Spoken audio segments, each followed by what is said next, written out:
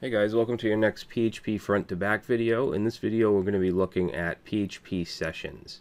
So sessions are a way to carry information or data across multiple pages. I'm sure you know by now that if we set a variable on one page it's not going to be accessible on the next. Okay, that's where sessions come in. Now unlike cookies, session data is not stored on the user's computer, it's stored on the server. Okay, we'll also be looking at cookies later on. So let's jump right in here I have my PHP sandbox folder open here. I'm going to just create a new folder and let's just call this website 4 and we're going to have a few pages here. I'm going to create one and call it page1.php.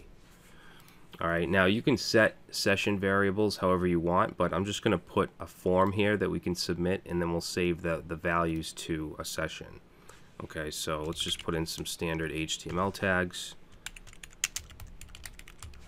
and let's put a form down here. I'm just going to grab it and paste it in. One second. Alright, so we have a form. It has the method of post. We've gone over all of this. The action I set to server PHP self, so it's going to get submitted to this file. We have a name field and an email field. Okay, so let's go up here and let's catch this form submission. Okay, so I'm just going to say uh, if is set and we want to look at post submit because I gave the the submit button a name so we can check for that. And then let's just test it out by just saying echo 123 alright so I'm gonna go to localhost php sandbox slash website 4 slash page1 dot php Okay, so there's our form. If I submit it, it's going to echo out 1, 2, 3. So what we're going to do is catch the values and put them into session variables.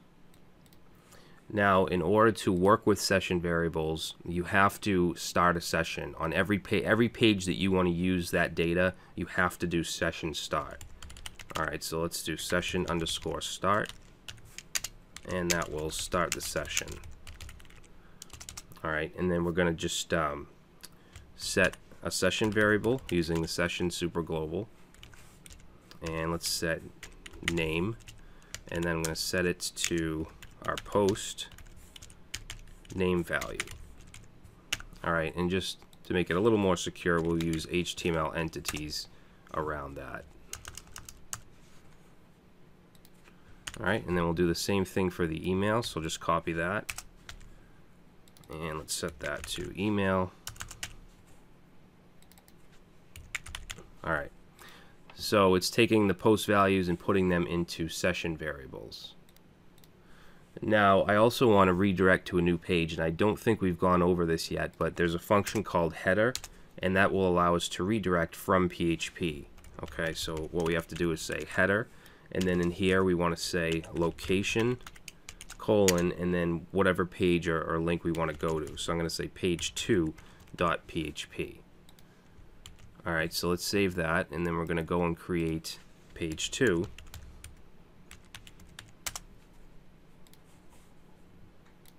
And then I'm just going to put some HTML tags in here. And let's just put, uh, actually we'll go up here first and put the PHP in. Okay, and then what I'm going to do is again say session start. And then we're going to set name equal to the session variable name and same with email.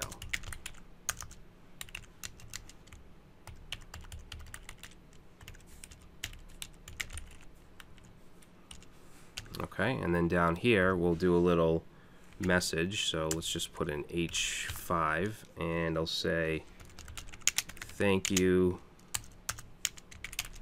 And then we'll just want to echo out the name. And then we'll just say you have uh, we'll say subscribed uh, with the email and then we'll echo out the email alright so let's go ahead and save that and I'm just gonna reset this page one and let's just put something in here we'll just put my name And for the email, I'm just going to say test at test.com. And let's submit. And we get thank you, Brad Traversy. Your email, your you have subscribed with email test at test.com. So we carried the variables over to this page. And if we reload this without making the post request, you'll see it's still there. It's, it's stored in the session. So what I'm going to do now is put a link down here. And let's set this to go to page3.php. Alright, and I'll just say go to page 3. Whoops. Okay, and then we'll create page 3.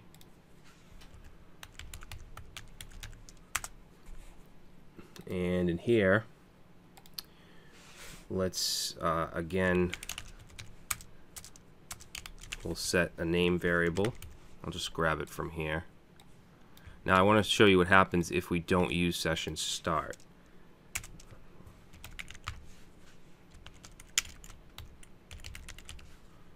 Alright, so let's just put a, um, we'll just put an H1 here, and let's just say hello name. Alright, so let's save that, and then if we reload this, we go to page 3, you'll see we get this undefined variable session. Okay, it's doing that because we didn't include session start. So let's do that up here.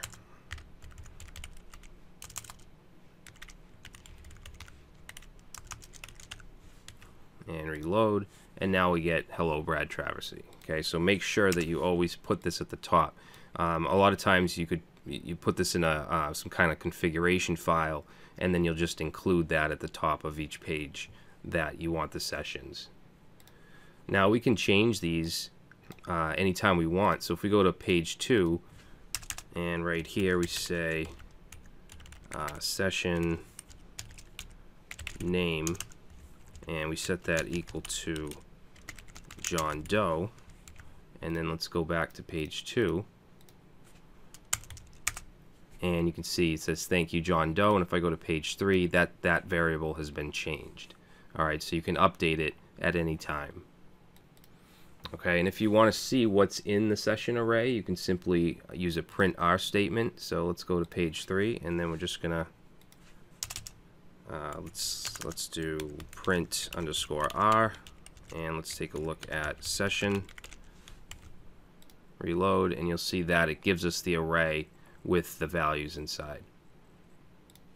Now if you want to unset one of these you can use session unset. So let's go ahead and create a page 4 and then in here let's put our PHP tag. And then we'll do session start. And if we just want to unset one value let's say the name then we use unset just unset and pass in session name okay so let's save that and then we're going to run page 4 okay no output but let's go back to page 3 and now you'll see that we get undefined index name. The email is still there, but we just un unset the name.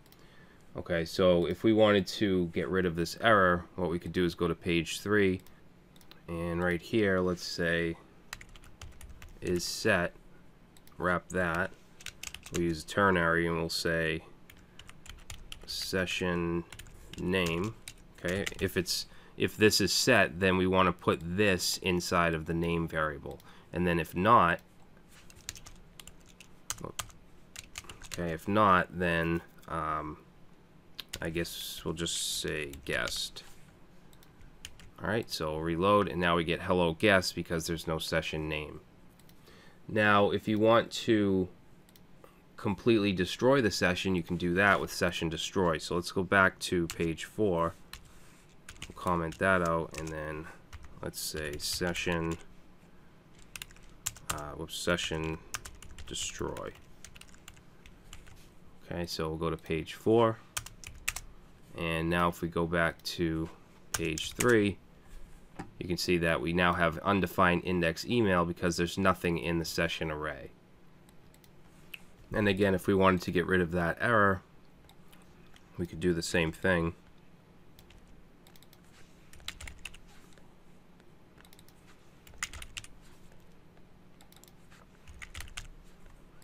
And for this, we just say something like not subscribed.